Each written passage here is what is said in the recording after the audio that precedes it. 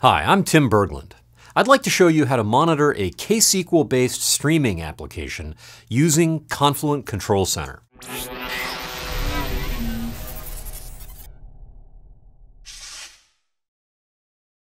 I'm using the Control Center demo that we've got on GitHub under Confluent Inc. slash CP demo. There's a whole separate video showing how to get that set up. Make sure you watch that video and follow along with the steps if you haven't yet.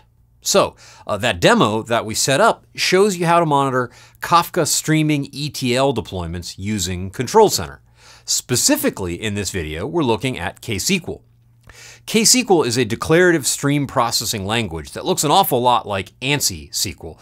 So it makes sense that you might want to be able to monitor particular KSQL queries and particular streams from Confluent Control Center. For a data source, we have a Kafka Connect connector that's pulling information, uh, updates really, about Wikipedia edits from IRC, of all places, and writing those messages to a topic called Wikipedia parsed. Let's navigate in Control Center to that topic.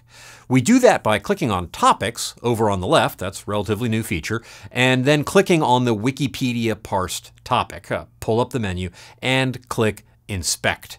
And now we can see the contents of the topic, constantly being refreshed, because the source connector is running and pulling in new Wikipedia edits all the time.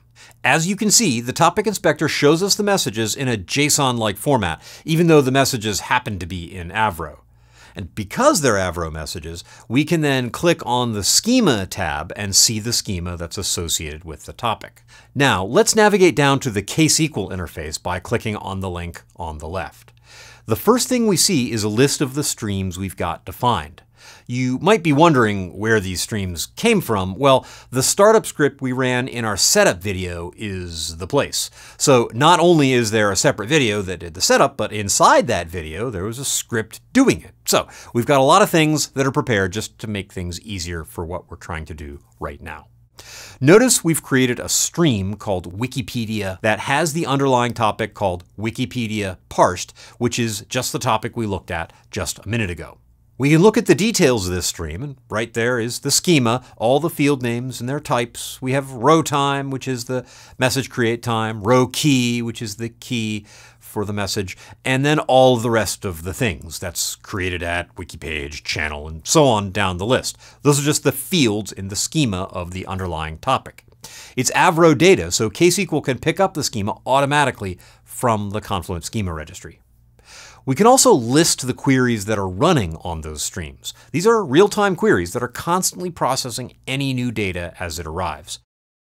So the Connect connector will pull in the new page edits from the IRC channel, and these KSQL queries process that data immediately. Now let's say we want to figure out which wiki page edits are made by humans and which ones are maybe made by bots of some kind. Happily, the stream has a flag called isBot. I guess that makes our lives easier. Uh, but using KSQL, we can filter out the two kinds of edits based on that field. Our second query does that. It filters to just edits made by humans, whereas query 3 is just the bots. You know, in case you wanted to know what was on the bots' minds and what sort of Wikipedia topics they're interested in. Now let's look at some windowing. This is a key concept in stream processing. Say we wanted to find out when a single user is making frequent edits to a single page. Well, what's a frequent edit? Uh, that really implies a certain number of edits within a certain amount of time, and that's a window. Our query is going to group by Wikipedia page and username, and then count edits within a five minute tumbling window. A tumbling window is just one that goes from uh, here to here to here, and they, they never overlap, those windows. Uh, this aggregation results in a table of counts. So let's look at that table. Now let's do a select on it and see the values in the table. And this is on live data, mind you, being processed in real time by the KSQL engine. So let's go to the Control Center Topic Inspector to see the data in the underlying topic.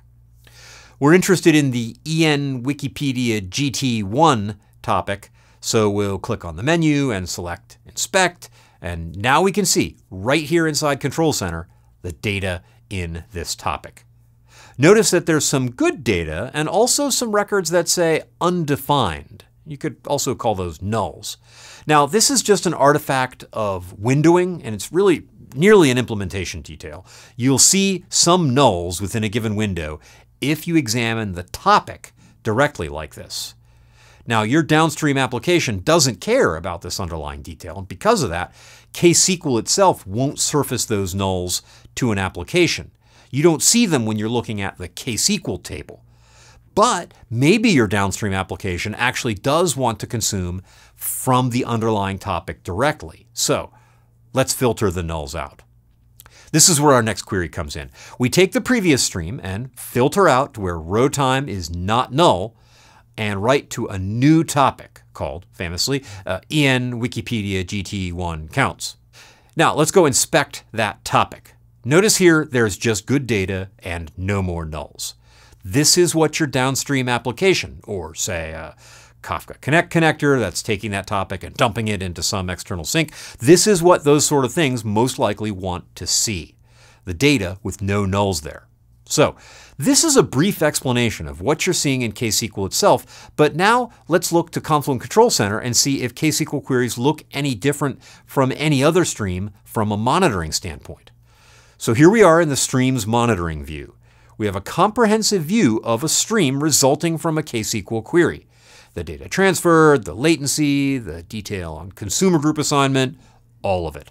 Scrolling down, we even see the streams created internally by KSQL for its own housekeeping. Monitoring these can be important for future sizing of the KSQL cluster. But the overall point is that monitoring a KSQL application doesn't look a whole lot different from monitoring a Kafka Streams app. And right there are just a few pointers on how to monitor and use KSQL from Confluent Control Center.